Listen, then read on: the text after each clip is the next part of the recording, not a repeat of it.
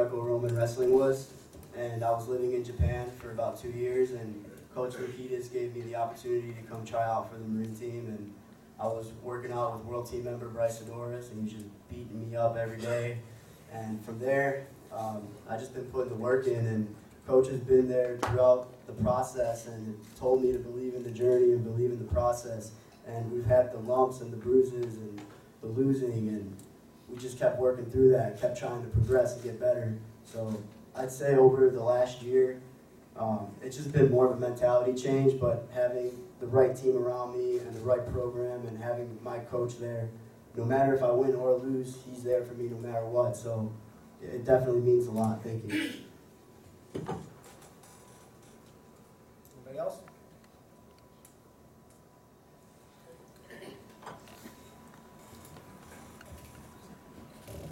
This question's for Alli Ragan or and or Lauren Louive. Uh, Hawkeye Wrestling Club has been able to put uh, four members uh, into the Final X competition, where one world team member. Um, can either of you expand upon how uh, Hawkeye Wrestling Club has been able to produce, uh, you know, been able to result in four members uh, wrestling in Final X? Um, I mean, we have great coaches. Obviously, the Brands brothers, everyone knows they're awesome. Um, Perry works with us a lot, and the whole training staff is good. We have great training partners, and we scrap every day in the room, and it's really hard not to be motivated and really go after it every day in the room because everyone around you is doing that same thing. So, definitely the energy in there is really electric, and every day you got to go to war. So, it's definitely each person gets better, and I think we have a great coaching staff too. So. Yeah, really, really what Alan said, I mean, when you put all, all of, uh, a group of women that are, you know, at, at the top level in a, in a room together, you know, filled with intensity that Iowa brings, with the coaching staff that they have, and given indi- individual work, I mean, you're gonna have a great outcome, and that's, that's what we're building.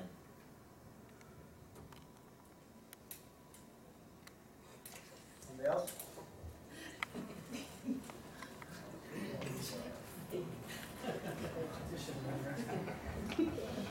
This is for any or all of the Army guys. Uh, last week in Rutgers, I'm sure everybody saw that uh, the Army guys went 8 and 0. Do y'all feel any added pressure going into this to get the job done and follow y'all's teammates and the performance they put on last week? I would say absolutely not. I think uh, seeing our teammates get 8 0, 4 4 on the world team is nothing but motivation to us. You know, majority of us was all at my house watching it, so I mean, one team, one fight. We're the Black and Gold family, so that just motivated us to work even harder this past week for our goals right now. Yeah, I agree. And I mean, that's the standard for the black and gold anyway, winning. So, um, of course, we're there to support our teammates, but a lot of times we're wrestling at the turn at the same time they are. And so it just comes with the environment. You got to learn how to be into their matches, but when it's time for you to compete, you got to focus on yourself and get the job done.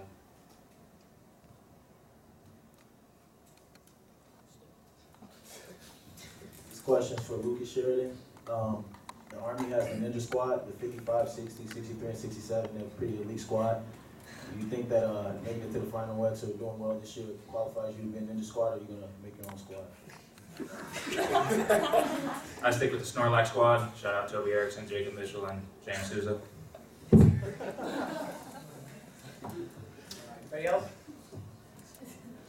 All right, that'll do it. We got uh, some time to break out individual sessions with some of these athletes if you want. Otherwise, uh, this session goes down tomorrow at noon. Thanks for showing up. On tomorrow at noon, weigh-ins will be taking place at between 9:30 and 10. Um, obviously, spots on the line to represent the United States at the World Championships in Kazakhstan this September. Um, we're going to go through match by match, introduce each competitor, um, and then each competitor, want you to give an opening statement, and then I want you to say one thing about your opponent, for better or for worse. I'll leave that to you. Um, once we get through that, we'll open it up to the audience for questions, and then um, once we're through with that, we'll have kind of one-on-one breakout sessions where the members can come up and talk to the athletes individually. Other than that, let's, let's get right to it. Our first bout of the morning will be 59 kilograms. We'll have Lauren Louive, who is a World Team Trials champion, Dave Schultz, champ, junior World Team member, and a three-time WCWA All-American, representing NYAC and Hawkeye Wrestling Club, Lauren Louive. What's up, guys? Just glad I didn't fall off the stage getting up here. Um, yeah, so I'm wrestling Alli Ragan tomorrow. Um, she's an extremely accomplished uh, opponent, and I'm excited to wrestle. Team member, and um, she has a cat named Sushi, and and Butters. She has two. On to the cat lady. Alli Ragan. I'm joking, come on. She's a five-time world team member, two-time world silver medalist representing the Sunkist Kids in the Hawkeye Wrestling Club. She was U.S. Open champion, Alli Ragan. Hey, um, yes, I'm Alli Ragan, um, Hawkeye Wrestling Club out of Iowa City. So is Lauren Louive. Um, we're ready to go to war tomorrow, and yeah, zero hour is upon us. So let's go. All right, thank you. Moving on, we're going to go 60 kilograms. Our first competitor was the World Team Trials Champion 2017, World Team Member 2008 Olympian representing Army WCAP. This is Ildar Hafizov. Uh, hello everyone. Uh, great to be here. Thanks everyone. Let's say about Mike. I think he's doing better, and let's figure out who's going to Kazakhstan. His opponent was the U.S. Open champ this year. He's a two-time junior world team member. Also representing Army WCAP Leslie Fuenffinger. Uh, how's it going, guys? My name is Leslie Fuenffinger. Uh, I go by Mike. But uh, one thing to say about my opponent, uh, man, I can't stand that guy. I just kidding. No, but, you know, shoot, he's a he's a great father. Uh, he's, that- that's what he is. He's a great father and uh, somebody who I look up to in that area. So it's gonna be good tomorrow. Looking forward to it. It's gonna be a battle. All right. Thank you. Next weight class, 55 kilograms. This young lady was your World Team Trials champion. She's a three-time U23 World Team member, representing the Sunkist Kids, Dominique Parrish. Hi, I'm Dominique. Um, just really excited to be here, excited to compete tomorrow. And Jacarra is an amazing competitor. She's also really funny.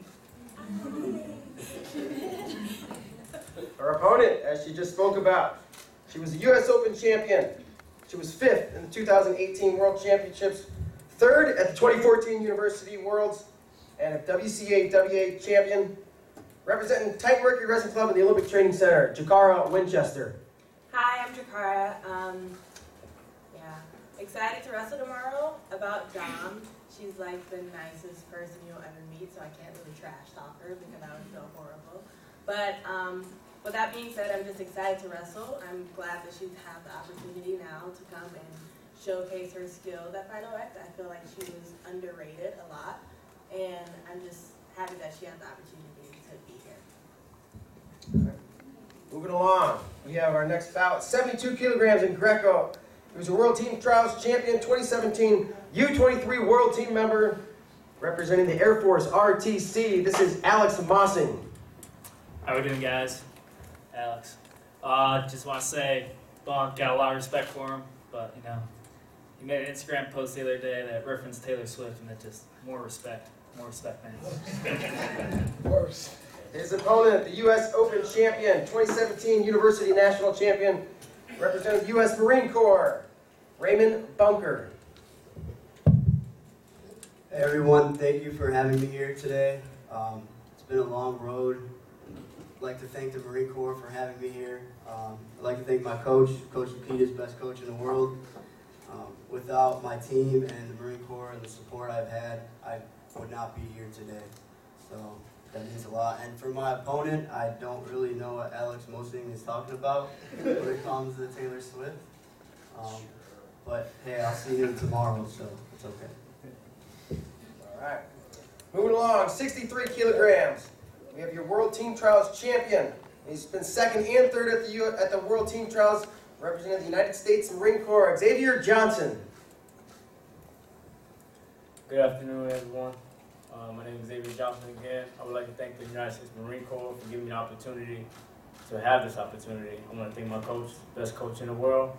Uh, for my opponent, Ryan Mango, I think our styles will match up pretty well tomorrow. So that's pretty much it. All right. His opponent got here by winning the U.S. Open. He is a two-time U.S. Open champion representing Army WCAP. It is Ryan Mango. Hey guys, like I said, I'm Ryan Mango. Uh, wrestle for the U.S. Army World Class Athlete Program. Um, excited, ready to go tomorrow. I think our styles will match up well, and it should be a fun show for fans. And uh, Xavier, I always wanted. To, I know I always tell you your hair looks it looks nice. You know, what I'm saying you got a fresh cut. It Kind of reminds me of Gerald from Hey Arnold.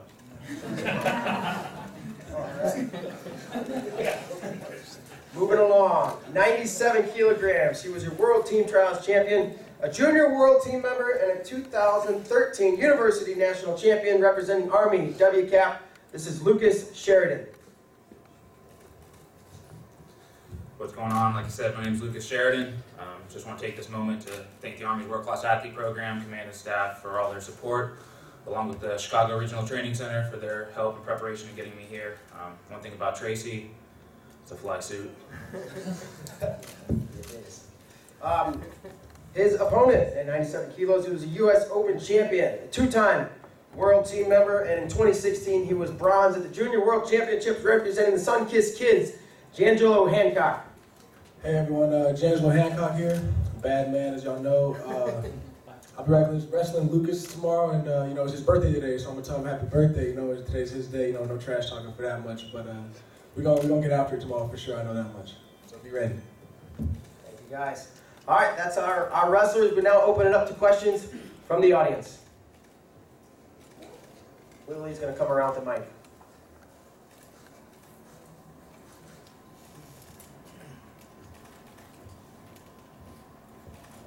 Question for G'Angelo. Um, you wrestle all the time. You travel overseas. You even went to U23s uh, a couple weeks ago trials. Um, how important is it for you to continually compete? Uh, you know, for me, I, I've learned that uh, in my path, everyone's is different. That um, getting overseas is, is my ticket. That's the way I'm gonna get better. You know, if I want to be the be the number one guy in the world, which is the goal, then I'm gonna have to wrestle the baddest men on the planet. And that's my goal. I'm gonna hunt them down every single day.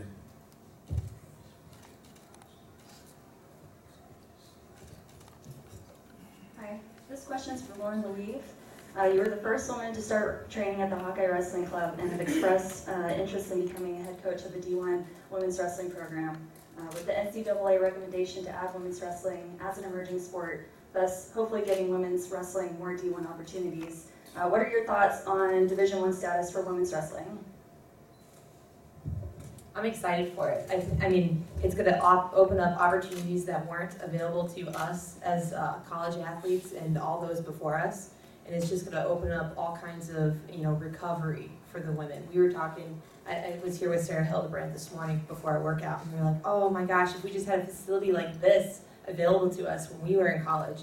Um, so the, uh, the training opportunities that will be available, um, the partners, the coaches, the money that goes behind it, uh, just everything is going to be huge in developing our female athletes, I, I believe, and that's going to continue and flow on to, um, you know, uh, freestyle and the senior level as well, um, getting them the resources that they need at the college level.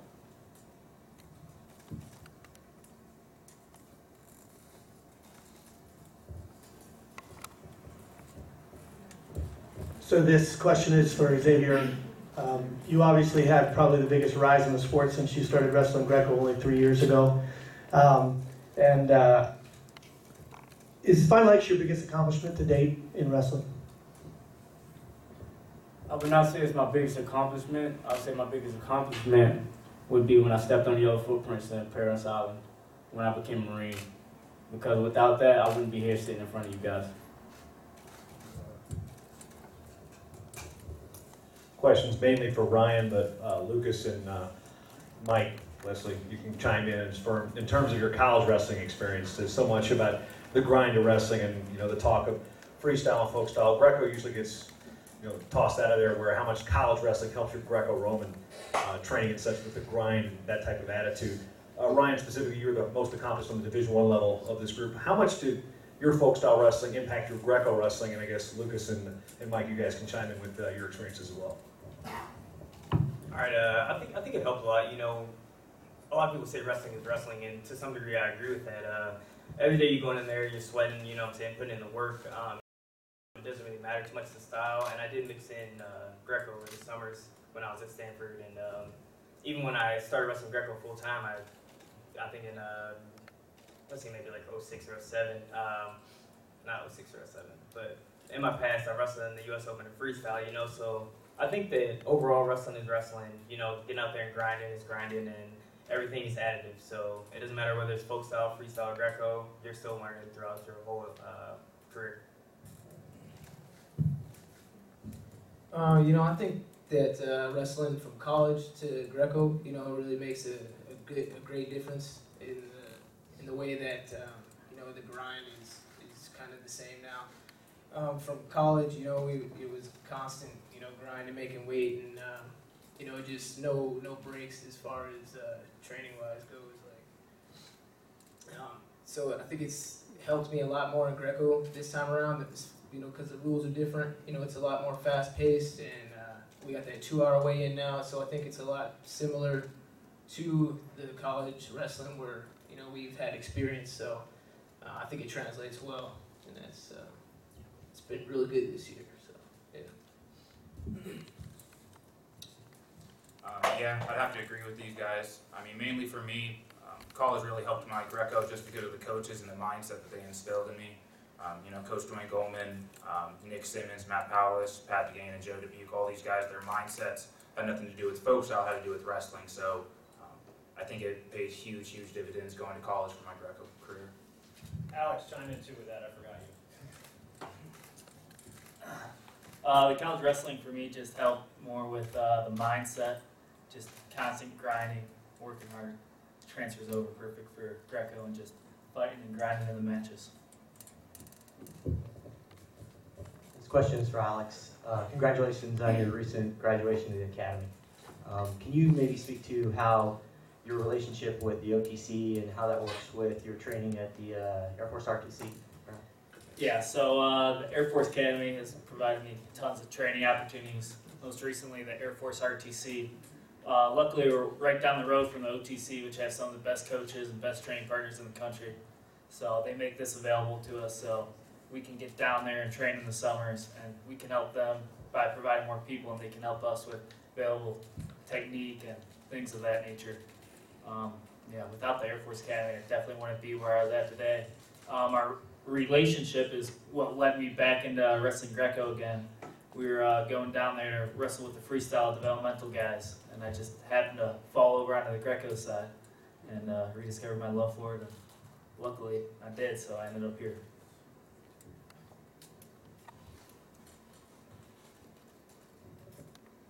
This question is for Dominique Parrish. Uh, first of all, congratulations on your WCWA Athlete of the Year award. Uh, what does this award mean to you, not just to be Wrestler of the Year, but Athlete of the Year? And what does this say about the state of college women's wrestling being recognized at this level? Um, it's it's a big honor to be recognized because, as mentioned before, women's wrestling isn't sanctioned by the NCAA or just received um, status or almost. But um, when you wrestle at the WCWA's, you're wrestling all the women who are wrestling in the United States for univer- like college or junior colleges. So I think being recognized as the athlete of the year is just a huge honor because it means that out of all the women who are wrestling, I was selected as one of the best, and it's just really humbling. And I think it's important to recognize women's wrestling, and um, recognizing through the WCWA's is better ways to do that.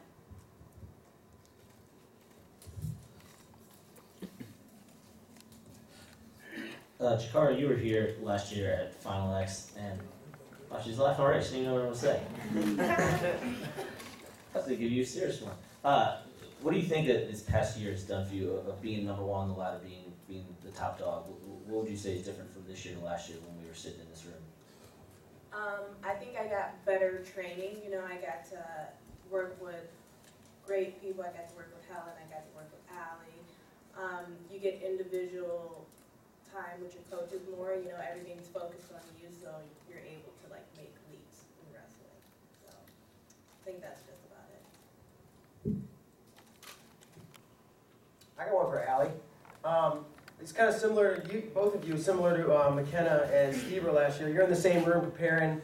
Um, were you training together prior to maybe this freestyle season? And, and what's it, you know, I'm guessing you guys don't train together. What's that like? Um, well, leading up to this, she's been at the OTC and I've been in Iowa, so that really doesn't affect us right now. But yeah, I mean, when I need to go together or partners like that, then so be it. But other than that,